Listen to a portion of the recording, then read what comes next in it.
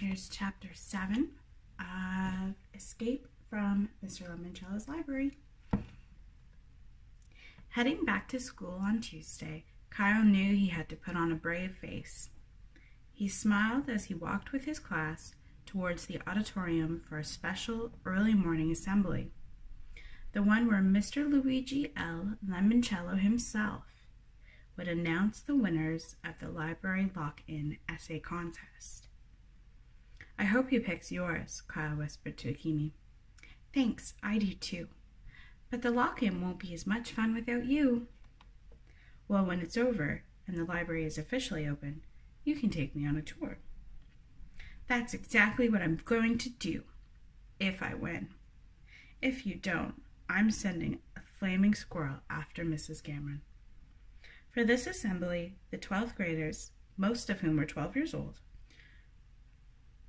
for this assembly, the seventh graders, most of whom were 12 years old, were told to sit in the front rows, close to the stage.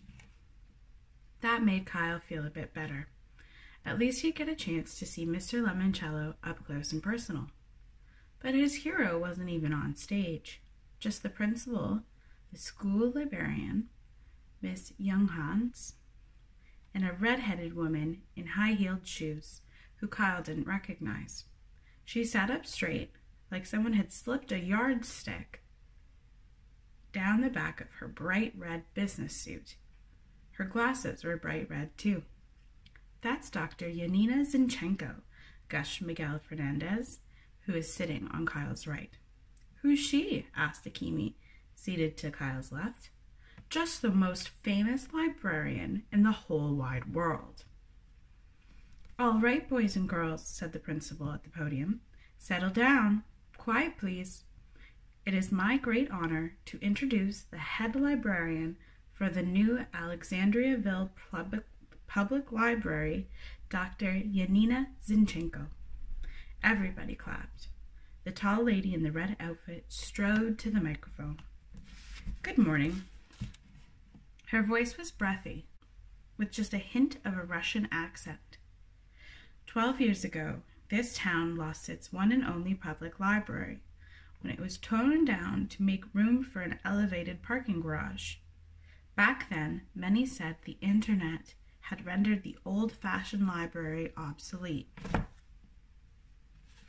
and that new parking garage would attract shoppers to the boutiques and dress shops near the old bank building.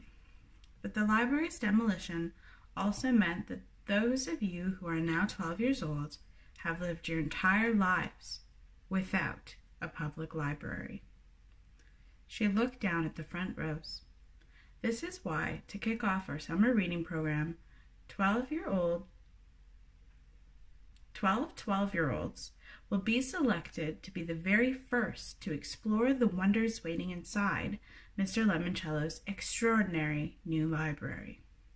You will, of course, need your parents' permission. We have slips for you to take home. You will also need a sleeping bag, a toothbrush, and if you please, a change of clothes. She smiled mysteriously. You might consider packing two pairs of underwear. Okay, Kyle thought. That's bizarre. Did the librarian really think seventh, seventh graders weren't toilet trained? There will be movies, food, fun, games, and prizes. Also, each of our 12 winners will receive a $500 gift card, good towards the purchase of Lemoncello games and gizmos. Oh man, 500 bucks worth of free games and gear?